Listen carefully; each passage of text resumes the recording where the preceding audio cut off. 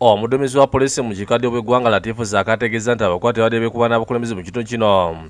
Kona abakubi ba kampuni ya sigigo plus aweewa ogw'okukuuma ne banyagulula amafuta. Ku mmotoka ezikola oluguudo lw'e kanoni gomba viramaliya waliyo abantu abasabotaginga purojekiti eno babba ebikozesebwa mu kuzimba oluguudo luno amafuta babba n'ebyuma ebimu ebikozesebwa. Kuba waliwo betwakutte nabo nga babba spare parts ono ategeeza nti bano basangibwa ngakukulidde mu nnyumba zaabwe.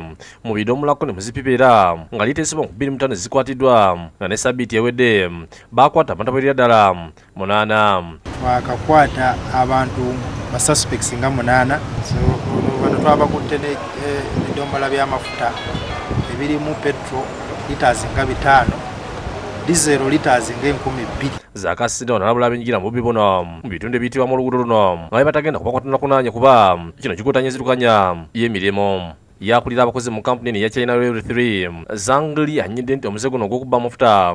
Guzingamiza nnyo omulimu gwabwe ogw'okola oluguudo. Oluza kilomita 1 Ah, ategeeza nti buli mwezi bafiirwa liita ezisoba mu um, nkumi nnya gano bakatunda mu excavators n'ebimotoka um, ebirala um. we, we lost uh, too much fuel. One month uh, almost uh, lost uh, the 4000 uh, liters fuel. Our project already going slowly and slowly. Ye abudu vedde omu ku bakwata yesambye ebyokukwatibwa mu bbibu n'ategeeza nga bwe bamusanze wa muganda we weyabye muganda wange.